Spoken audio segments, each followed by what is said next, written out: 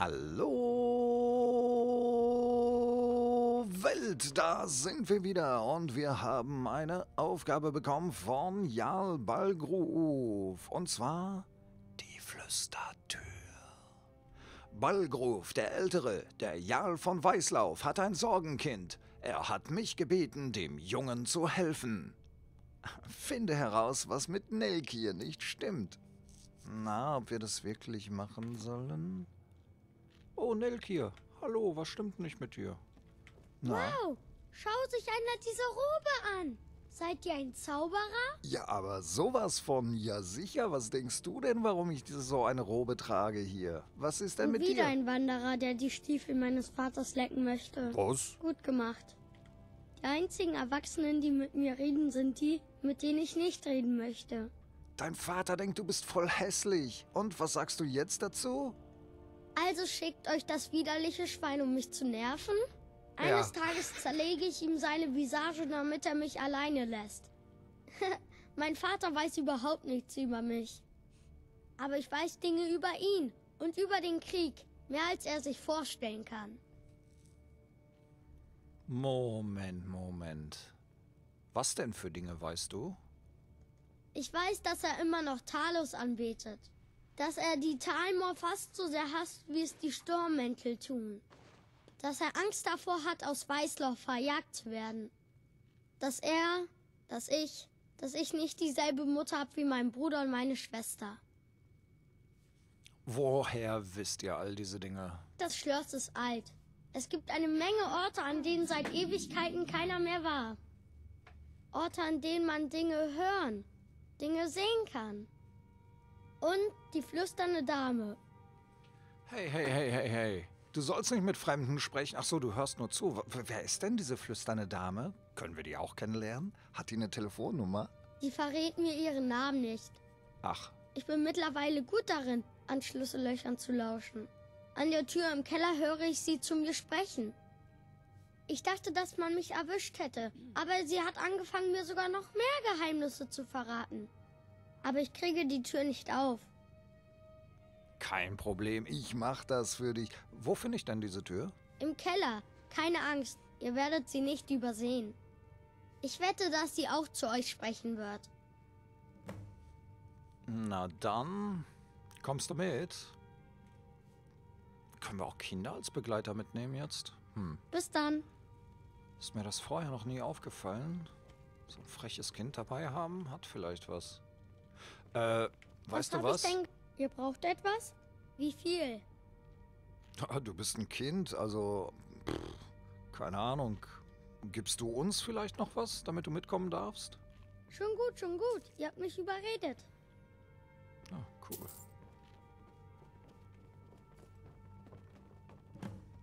Drachenfeste, Kerker, Ver Verfolge aktive Begleiter. Ach so. Kommst du jetzt mit? Hallo. Äh. Ich kann Outfits kann ich vergeben an Kinder sogar. Interessant. Bis dann. Ja. Ich, äh, wir gehen jetzt hier mal gucken. Nee, das ist gar nicht richtig hier drin, oder? Nee, überhaupt nicht. Da ist eine Treppe nach unten, zack. Egal, ob das richtig ist oder nicht. Wir benutzen die Treppe nach unten ein. Schön, euch zu sehen. Ja, ne? Ich freue mich auch. Ich bin kein Mann, ich bin eine Waffe in Menschengestalt. Ach so. Man muss mich nur ziehen und auf den Feind richten. Das hat sich angehört. Ich bin kein Mann, ich bin eine Frau. Nein, eine Waffe Wartet. als Ich Menschengestalt. kenne euch doch. Dover Krieg. Ich hätte eigentlich ein neues Kleid aus Einsamkeit bekommen sollen, aber das schafft es nie bis hierher. Kann das sein, dass das Sound irgendwie komisch ist? Wie viel? Kommst du auch für 75 mit? Schon gut, schon gut, ihr habt mich überredet. Cool. Okay. Ah, wir haben bald eine ganze Bande Kinder. Vater sagt, dass ich zu jung bin, um mit einem Schwert zu trainieren. Also übe ich mit meinen Fäusten. Oh oh, das ist auch nicht richtig. Oh.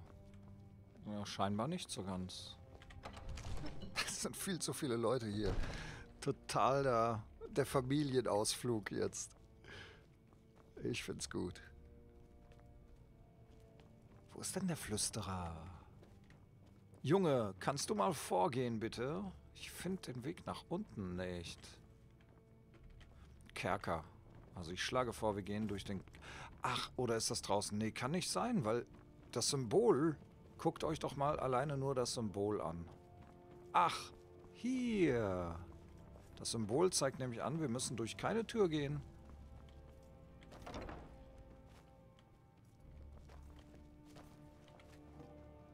An Tür lauschen. Endlich.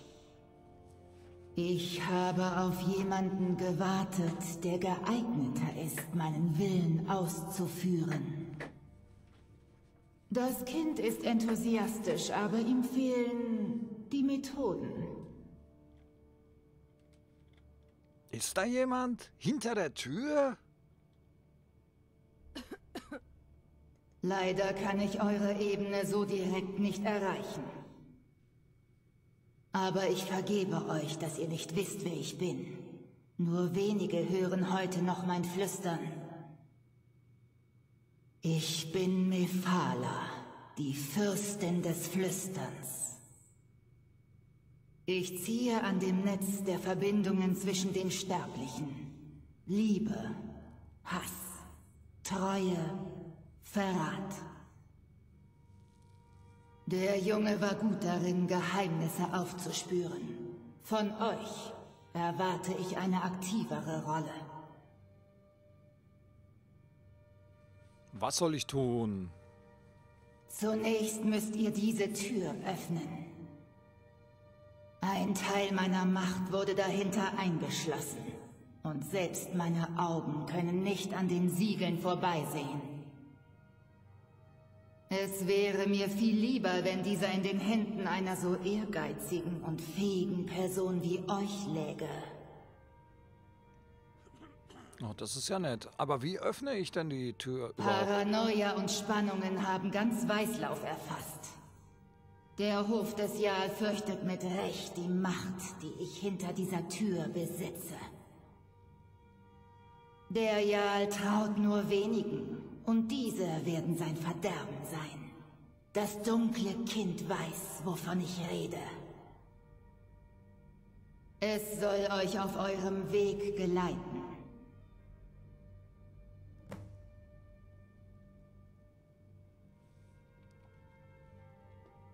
Nelkia? Hast du... Oh, ein Kleiderschrank. Mit einem Hut? Nelkia, wo bist denn du? Entschuldigt. Danke. Ach so, noch ein bisschen weiter?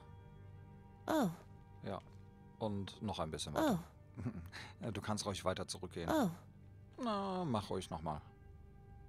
Danke. Junge. Du kommst gar nicht mit nach unten. Feigling.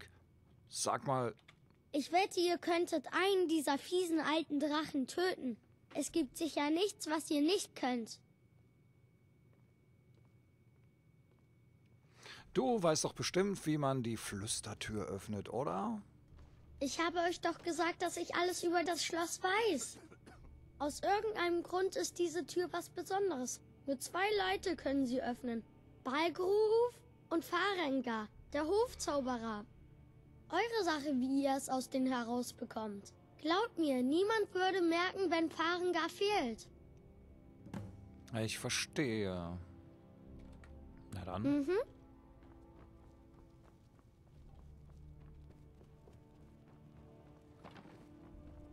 Ich diene Jarl Balgruf als Vogt. Das wollte ich gar nicht wissen, aber okay. Was benötigt ihr? Hey, ich, ich brauche einen Schlüssel zur Flüstertür. Dann flüstert sie nicht mehr demnächst. Ich höre. Kriege ich den Schlüssel? Wenn ihr mich jetzt entschuldigen würdet, ich habe eine Stadt zu führen. Ah, ich verstehe. Die Göttlichen sind euch hold, mein Freund. Na, du bist immer so nett. Es tut mir so leid, dass ich dich gleich beklauen muss. Schön euch zu sehen. Ich, äh...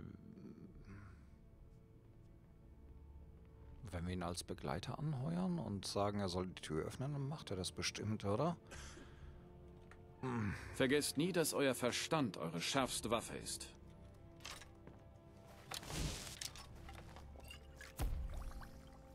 Oh, Moment mal. Der Bogen der Schatten. Elender Dieb! Ich lasse euch leben. Diesmal. Ich war das ja auch gar nicht. Den hat er sich wiedergeholt, oder? Besucht ihr die Drachenfeste, um über die andauernden Feindseligkeiten zu diskutieren, wie die anderen großen Krieger? Ne, der hat denn immer noch den Schlüssel, hat er sich wiedergeholt. Elender Dieb. Los, mach irgendwas. Sei abgelenkt.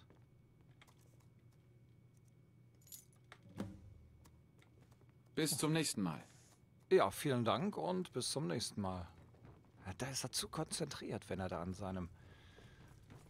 Was war das eigentlich? Alchemitisch oder arkanen Verzauberer oder so? Wenn er da steht, dann. Der Jarl ist, wie ihr euch sicher denken könnt, sehr beschäftigt.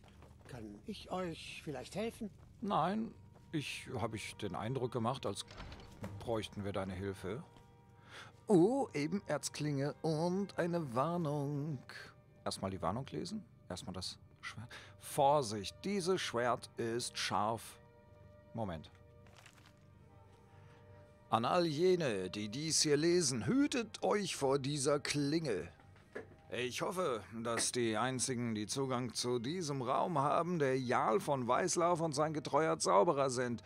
Falls jemand anderes dies hier lesen sollte, bitte ich ihn, das Ausmaß seiner Torheit zu erkennen, zu gehen und niemals auch nur irgendjemandem darüber ein Sterbenswörtchen über diesen Raum und diese Klinge zu verlieren. Sie verdarb die Sehnsüchte großer Männer und Frauen. Dennoch ist ihre Macht ohnegleichen und sie tötet, während euer Opfer euch anlächelt. Äh, Nur ein durch und durch verkommener Dädra kann sich eine derartig boshafte und unredliche Waffe ausgedacht haben. Aber alle, die sie führten, waren am Ende so wahnsinnig wie jede wilden Männer, die durch die Hügel streiften und sich mit Kaninchen unterhalten. Mir, mit mir, mit ihr ist nicht zu spaßen, äh, nicht einmal die heißesten Feuer der Himmelsschmiede vermochten sie zu schmelzen, selbst die Kohlen erkalteten, als die Klinge sie berührte. Äh, Wir können sie nicht vernichten, und sie darf nicht in die Hände unserer Feinde fallen, deshalb verstecken wir sie tief in der Drachenfeste, auf dass sie nie benutzt werde.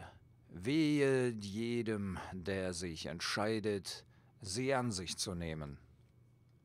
Oh, das nehmen wir schon mal mit. Ja, perfekt. Eine bessere Klinge kriegen wir also scheinbar gar nicht für unser Geld. Her damit. Ausgezeichnete Arbeit. Ich glaube, ihr seid scharfsinnig genug, um zu bemerken, dass die euch bekannten Beschreibungen der Ebenerzklinge nicht zu diesem Schwert passen. Es musste zu lange auf die Winde des Bündnisses und Verrats verzichten. Aha. Um zu alter Pracht zurückzukehren, muss es erst das Blut der Täuschung trinken. Es ist bewundernswert, wie sehr eure Welt von Lügen und List durchdrungen ist. Meine Klinge ist wie ein Blutegel, der sich von Täuschungen ernährt und seinen Meister stärkt. Geht zu denen, die euch am nächsten stehen. Der letzte Schlag ihrer fehlgeleiteten Herzen wird meine Klinge beim Lied eurer Erhabenheit begleiten. Wir haben die Flüstertür abgeschlossen. Ich wollte mal gucken, was die kann, aber ich wollte dann auch gucken, ob es da noch was anderes jetzt gibt.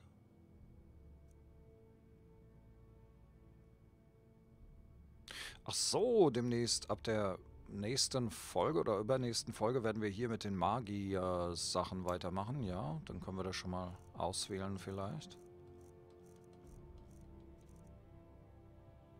Finde Tolfdiers Buch. Ich glaube, das könnte auch noch dazu mitgehören.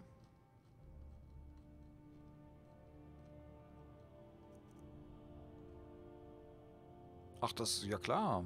Hier steht's doch auch. Ich habe Tolfdir von dem Buch Die Nacht der Tränen berichtet. Die Kugel aus Saartal scheint ihn schwer zu beschäftigen und er hat sich so seine eigenen Gedanken gemacht. Lass dich von Tolfdir einweisen. Und das hat nicht geklappt. Aus irgendeinem Grund. So. Was? Ihr, ihr kennt die flüsternde Dame, nicht wahr? Das spüre ich. Ja, ich glaube, es war ein großer Fehler, dich äh, zu rekrutieren. Jetzt denke ich, es ist Zeit für dich, wieder nach Hause zu gehen. Genug der Abenteuer, aber du warst sowieso so feige, dass du oben in der Küche gewartet hast. Wehe, du beleidigst uns nochmal, dann gibt's sofort einen Satz heiße Ohren.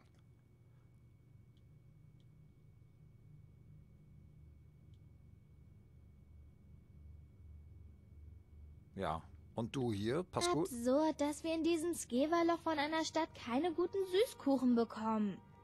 Ich hätte einen für dich, aber ich entlasse dich jetzt lieber mal aus meinem Dienst. Da ich deinen Bruder nicht mehr brauche, kann ich mit dir auch nichts mehr anfangen. Und tschüss.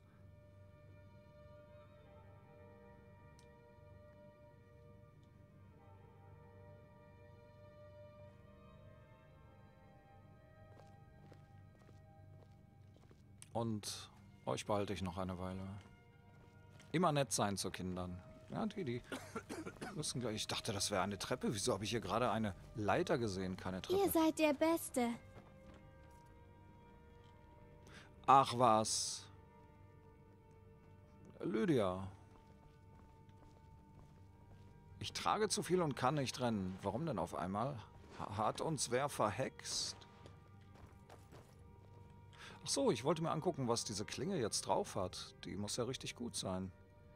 Ebenerzklinge absorbiert die Lebensessenz deiner Feinde, wird durch das Blut der Täuschung verstärkt.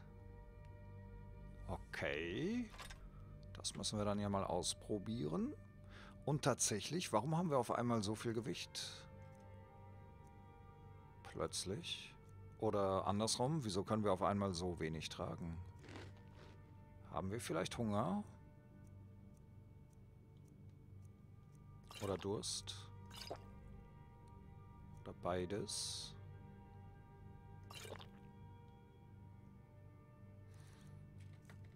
Das kann ja nur daran liegen eigentlich. Überladen, natürlich. Geringer Hunger. Ah ja, okay. Leicht hungrig, deswegen haben wir wohl etwas an Tragkraft. Haben wir wohl verloren, oder?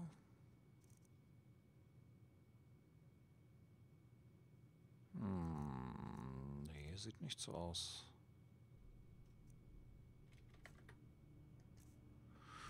Dann, dann, dann, dann. Ich weiß jetzt auch gerade nicht, was können wir denn dann machen jetzt gewichtstechnisch? Butter essen?